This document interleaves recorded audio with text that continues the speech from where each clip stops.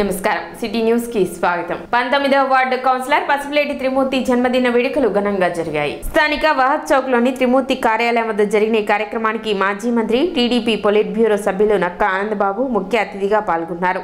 ఈ సందర్భంగా cake cut చేసి పసుపులేటి త్రిమూర్తికి జన్మదిన శుభాకాంక్షలు తెలిపారు. అనంతరం పేదలకు నూతన వస్త్రాలను నక్క ఆనందబాబు చేతుల మీదుగా పంపిణీ చేశారు. కార్యక్రమంలో షావుల్ సయ్యద్ రావి సూర్యకిరణ్ తేజ కౌన్సిలర్ దేశు యుగంధర్ జలగం రాఘవ చిన్న మురళీకృష్ణ రఘు రాజేష్ అఖిల్ సుబాని వెంకీ టీడీపీ నాయకులు కార్యకర్తలు అధిక సంఖ్యలో పాల్గొన్నారు.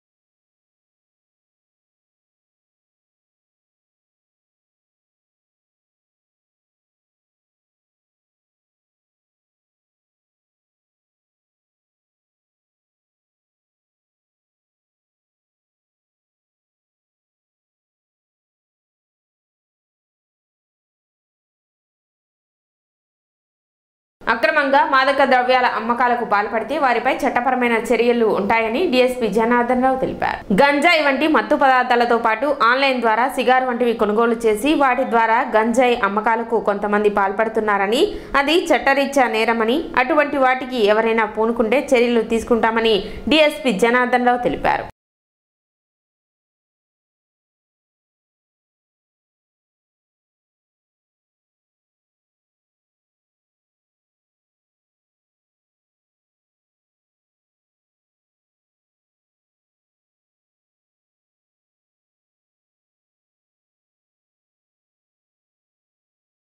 తెనాలిలో ఆన్లైన్లో తెప్పించి వ్యాపారం చేయడం జరుగుతూ ఉంది. ఇవి పెర్ఫెక్ట్ రోల్స్ అని పేపర్స్ ఇవి. ఇవి యాక్చువల్గా సిగారు అంటే టొబాకో రౌండ్ చేసుకొని తాగడానికి ఉపయోగించేవారు. ఇప్పుడు ఈ మత్తు మందు గంధాన్ని తాగడానికి ఉపయోగిస్తున్నారు. ఇవి ఆన్లైన్లో తీసుకొచ్చి కొంతమంది వ్యాపారం చేస్తున్నారు. ఇటువంటి వారు కూడా చెప్తా ఉన్నాం వాళ్ళు ఇటువంటి అమ్మకాలు చేయొద్దు చేస్తే వారి మీద కూడా ఈ గంజాయి వాళ్ళ దగ్గర దొరికింది మీదట వాళ్ళ మీద కూడా చట్టపరమైన చర్యలు తీసుకోవడం జరుగుతుంది. మేము టొబాకో కమ్మేము మేము వీళ్ళకి అమ్మలేదు అనేది కుదరదు. ఎవరైతే మేము ఎక్కడైనా పట్టుబడినప్పుడు ఇవి ఏ షాప్ నుంచి కొన్నారో వారి మీద కూడా యాక్షన్ తీసుకోవడానికి మేము సిఫార్సు చేయడం జరుగుతూ ఉంది. అందుకని ఎవరు కూడా ఇటువంటి సామాగ్రి మెటీరియల్ అమ్మద్దని మేము ముందు జాగ్రత్తగా చెప్తా ఉన్నాం. లేదు ఇది కొత్తగా నిన్న మా కేసులో ఫైండ్ అవుట్ అయినాయి. మేము వాళ్ళని అడిగినప్పుడు ఇవి ఆన్లైన్లో తెప్పించామన్నారు. ఈ షాపుల్లో కూడా దొరుకుతాయని మాకు సమాచారం ఉంది. అటువంటి వారు ఇట్లా అమ్మకాన్ని కూడా మీరు తగ్గించుకోమని ఎటువంటి చేయొద్దని కూడా చెప్తా ఉన్నాం. ఎప్పుడైతే గంజాయి కేసులో వాళ్ళు చెప్పి మేము పలానా షాపులో కొన్నామని ఎవరైనా చెప్తే వాళ్ళ మీద కూడా యాక్షన్ తీసుకోవడానికి మేము వెనుకాడము అని చెప్తాను rotary club of Tenali Vaikunthapuram ఆధ్వర్యంలో వైద్య విద్యార్థులకు నలభై వేల రూపాయలను ఆర్థిక సహాయం అందజేశారు. ఉపాధ్యాయ వృత్తిలో కొనసాగుతున్న నాగేశ్వరరావు తన ఇద్దరు పిల్లలు ఉక్రెయిన్లో ఎంబీబీఎస్ విద్యను అభ్యసిస్తున్నారు. వీరి చదువు నిమిత్తం కుమార్ పంప్స్ అధినేత కొత్త సుబ్రహ్మణ్యం ఇరవై వేల రూపాయలు రోటరీ క్లబ్ ఆఫ్ వైకుంఠపురం ఆధ్వర్యంలో మరీ ఇరవై వేలు మొత్తం నలభై వేల రూపాయల ఆర్థిక సహాయాన్ని మంగళవారం క్లబ్ కార్యాలయంలో జరిగిన కార్యక్రమంలో అందజేశారు. ఈ కార్యక్రమానికి క్లబ్ అధ్యక్షులు రాంబాబు అధ్యక్షత వహించగా ముఖ్య అతిథిగా Ganesh youth convener Veeravalli Murali club assistant governor Kanneganti Murali పాల్గొన్నారు. ఈ సందర్భంగా తెనాలి పరిసర ప్రాంతాలలో క్లబ్ చేస్తున్న సేవలను కొనియాడారు. కార్యక్రమంలో కార్యదర్శి వెంకటేశ్వరరావు జీవి నారాయణ ప్రవీణ్ ఆలపాటి కిరణ్ ఈదర వెంకట పూర్ణచంద్ నాగభూషణం జట్టి శివరామకృష్ణ ప్రసాద్ తదితరులు పాల్గొన్నారు. తెనాలి ప్రాంతం నుంచి నాగేశ్వరరావు గారు ఒక టీచర్గా ఉంటూ ఉక్రెయిన్లో వాళ్ళిద్దరు పిల్లలను కూడా ఉక్రెయిన్లో మెరిట్ మీద అక్కడ కాలేజీలో స్కాలర్షిప్ మీద మెరిట్ మీద అక్కడ జాయిన్ చేయటం అనుకోకుండా అక్కడ స్టడీస్ అన్నీ ఆగిపోవటం ఏమీ దిక్కుదోచని పరిస్థితుల్లో ఎవరైనా దాతలు సహకారం అందితే మరలా కూడా మా పిల్లల్ని చక్కగా ఈ మెడిసిన్ కంప్లీట్ చే కంప్లీట్ చేయొచ్చు అనే ఉద్దేశంతో రోటరీ క్లబ్ని ఆశ్రయించటం. వెంటనే మా వంతుగా మేము సహ సహాయం అందిస్తామని చెప్పి చెప్పి కుమార్ పంపుల సుబ్రహ్మణ్యం గారు ద్వారా ఒక ఇరవై వేలు రోటరీ క్లబ్ ద్వారా ఒక ఇరవై వేల రూపాయలు వెంటనే నలభై వేల రూపాయలు ఆ విద్యార్థులకు అందించడం అనేది మరి నలభై వేల రూపాయలు వసూలు చేసి ఈ ఎంబీబీఎస్ చదివే కుర్రాడికి వాళ్ళ సిస్టర్ ఇద్దరు కలిసి చదువుతున్నారు. వారికి ఈ నలభై వేల రూపాయలు వాళ్ళకి అందించడం జరిగింది. వాళ్ళు ఫీజులు కట్టుకుంటాం కొద్దిగా ఇబ్బందిగా ఉంది. మరి మీరు కనుక మీ తరపున మీద సహాయం చేయమంటే మన కుమార్ పంశ గారు సుబ్రహ్మణ్యం గారు ముందుగా ఇరవై వేలు ఇచ్చారు. అట్లాగే మిగతా ఇరవై వేలు మా క్లబ్ తరపున పోగు చేసి మరి ఆ నలభై వేల రూపాయలు ఈరోజు ఇవ్వటం జరిగింది. మరి మున్ముందు రేపు ఇరవై తారీఖునేమో రో- రోటరీలో ఐ క్యాంప్ తరపున ఆంగ్లగుతుల్లో ఏర్పాటు చేశాము. మళ్ళీ రేపు రా నెక్స్ట్ సండే ఆదివారం రాత్రి కూడా ఒక క్రీడాకారిని ఆ అమ్మాయికి యాభై వేల రూపాయలు ఇస్తామని ప్రామిస్ చేయడం జరిగింది. ముందుగా పదివేలు ఇచ్చాము ఇచ్చాము. మిగతా నలభై వేలు కూడా ఆ రోజున ఏర్పాటు చేసి ఇస్తాము. ఈ నెలలో ఉన్నతాధికారుల ఆదేశాల మేరకు రోడ్డు ప్రమాదాల నియంత్రణకు తగిన చర్యలు తీసుకుంటున్నట్లు ట్రాఫిక్ ఎస్ఐ శ్రీనివాసరావు తెలిపారు. ఇందులో భాగంగా పట్టణంలో రోడ్డు ప్రమాదాలు ఎక్కువగా జరిగే ప్రాంతాలను గుర్తించి అక్కడ స్టాప్ బోర్డులను ఏర్పాటు చేసినట్లు తెలిపారు. వాహనదారులు ట్రాఫిక్ రూల్స్ పాటించి ప్రమాదాల నివారణకు కృషి చేయాలని ట్రాఫిక్ ఎస్ఐ శ్రీనివాసరావు విజ్ఞప్తి చేశారు.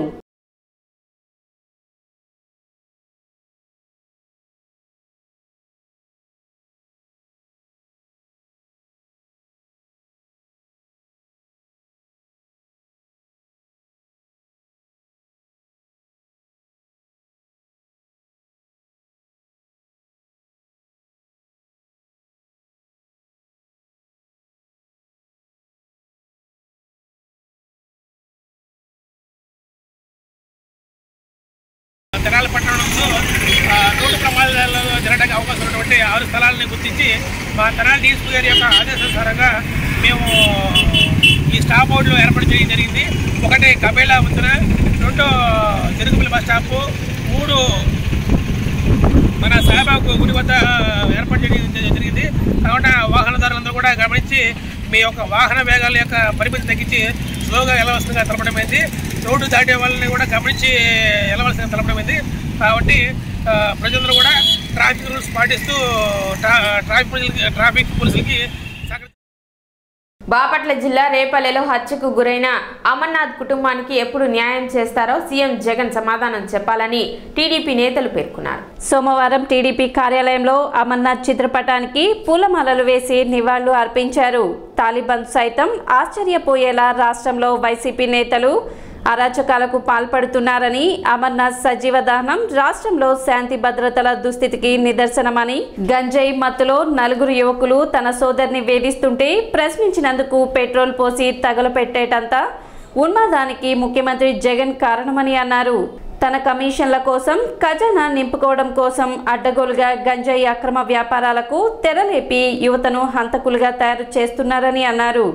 అరాచకాన్ని ప్రశ్నిస్తే పెట్రోల్తో తగలబెట్టే పాశవిక పరిస్థితులకు వైసీపీ పాలనే కారణమని అన్నారు. రేపలలో జరిగిన ఘటన ముమ్మాటికి ప్రభుత్వ చేతకాని పాలనే కారణం. నెల రోజులవుతున్నా ఇంతవరకు నిందితులకు ఎందుకు శిక్ష పడలేదో సమాధానం చెప్పాలని తక్షణమే ఫాస్ట్ ట్రాక్ కోర్టు ఏర్పాటు చేసి నిందితులను కఠినంగా శిక్షించాలని వారం రోజుల్లో నిందితులకు శిక్ష పడకుంటే రాష్ట్ర వ్యాప్తంగా ఆందోళనకు దిగుతామని హెచ్చరించారు.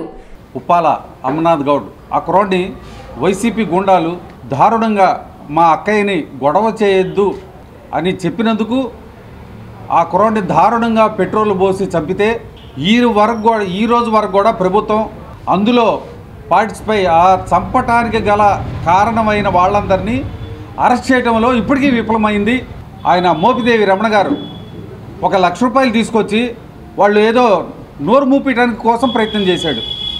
కుర్రవాడిని గంజాయి తాగిన హంతకులు చంపేస్తే లక్ష రూపాయలు తీసుకొచ్చి నువ్వేం సరిచేద్దామని చెప్పి లక్ష రూపాయలు తీసుకొని వచ్చావు? ఆ కుర్రాడికి ఇప్పటికైనా సరే న్యాయం చేయాలని చెప్పని ఇటువంటి జరగకుండా చూడాలని ప్రభుత్వాన్ని కోరుకుంటు కార్యక్రమంలో పట్టణ పార్టీ అధ్యక్షులు తాడిపోయిన హరిప్రసాద్ నియోజకవర్గ బీసీసీఎల్ అధ్యక్షులు గిరి గణేష్ జిల్లా పార్టీ అధికార ప్రతినిధి జొన్నాదుల మహేష్ తెనాలి మండల పార్టీ అధ్యక్షులు కేసన కోటేశ్వరరావు ఫణిదపు దుర్గా కావేటి వేణు మునిపల్లె వెంకట దుర్గా ప్రసాద్ ఎం వెంకటేశ్వరరావు నారాయణ వేణువర్ధన్ బాలాజీ సాయి ముఖేష్ కుదరవల్లి శ్రీనివాసరావు అక్కిశెట్టి వెంకటేశ్వరరావు శ్రీను తదితరులు పాల్గొన్నారు. నగరం మండలంలోని ఉప్పాలవారి గ్రామంలో ఉప్పాల అమర్నాథ్ గౌడ్ అనే ఒక బీసీ కురాన్ని ఈ వైఎస్ఆర్ వైఎస్ఆర్సీపీకి సంబంధించినటువంటి కొంతమంది రౌడీ మొక్కలు హత్య చేసి అత్యంత కిరాతకంగా దారుణంగా నోట్లో గుడ్డలు కట్టి గుడ్డలు పెట్టి చేతులు కట్టేసి పెట్రోల్ పోసి తగలబెట్టినటువంటి సందర్భం నెల క్రితం జరిగింది. దానికి ఇవాటి వరకు కూడా ప్రభుత్వం ఎటువంటి న్యాయం చేసిన పరిస్థితి లేదు. ఏదైతే ఈ ఘటన జరిగిందో దాన్ని తీవ్రంగా తెనాలి నియోజకవర్గ బీసీ దళ తరపు నుంచి తీవ్రంగా ఖండిస్తూ ఉన్నాం. ఇవాటికి ఆ కురవాడికి న్యాయం చేయకపోగా కేసు నీరు గార్చే ప్రయత్నాలు చేస్తూ ఉన్నారు. మేము ముఖ్యంగా బీసీసీఎల్ నియోజకవర్గం తరపున డిమాండ్ చేస్తూ ఉంది ఏంటంటే ఫాస్ట్ ట్రాక్ కోర్టులు ఏర్పాటు చేయాలి. తనకి వెంటనే తక్షణమే అతని యొక్క న్యాయం చేయాలి న్యాయం చేయాలి. ఏదైతే వాళ్ళు అన్నారో న్యాయం చేయాలి. రెండు వందల మంది గూండాలతో అక్కడ ఉన్నటువంటి చైర్పర్సన్ ఒక దళిత ఎస్సీని ఎస్సీ ఎస్ఐని ఏ విధంగా కించపరిచి ఏ విధంగా గొరవ చేసి ధర్నా చేసి స్టేషన్ ఆక్రమించుకున్నారో రాష్ట్ర ప్రజానీకం మొత్తం చూస్తూ ఉంది. ఇకనైనా మీ పోలీసు వ్యవస్థ కళ్ళు తెరవాలి. ఇవాళ ఒక సూళ్ళూరుపేటే కాదు రా రా భవిష్యత్తులో రాబోయే రోజుల్లో ప్రతి స్టేషన్ కూడా ప్రతి ఒక్క ఎస్ఐని కూడా ఈ దుర్మార్గమైనటువంటి వైసీపీ గోండాలు అరాచకత్వంతో మిమ్మల్ని తరిమి తరిమి కొట్టే రోజులు వస్తున్నాయి వస్తున్నాయి. మళ్ళీ మీరు కూడా ప్రతిపక్షాలనే మీరు శరణవేరాల్సిన పరిస్థితి వస్తుంది. ఎందుకంటే చంద్రబాబు నాయుడు గారు అధికారంలో ఉన్నప్పుడు చట్టాన్ని ఎక్కడ కూడా దుర్వినియోగం కాకుండా నేరస్తులు పాలిట్టే వెమ్మకంకరలాగా పోలీసులు వ్యవహరించారు. కానీ ఇవాళ పోలీసు వ్యవస్థ దిగజారి మీకు దుస్థితి తెచ్చుకునే పరిస్థితిని మీరు కల్పించుకుంటా ఉన్నారు. కనుక ఇకనైనా కళ్ళు తెరిచి ఈ అమర్నాథ్ గౌడ్ విషయంలో తగిన చర్యలు తీసుకొని చట్టాన్ని కనుక మీరు అమలు పరిచినట్లయితే ప్రజల మనం సిటీ న్యూస్ ఇందరితో సమాప్తం. నమస్కారం.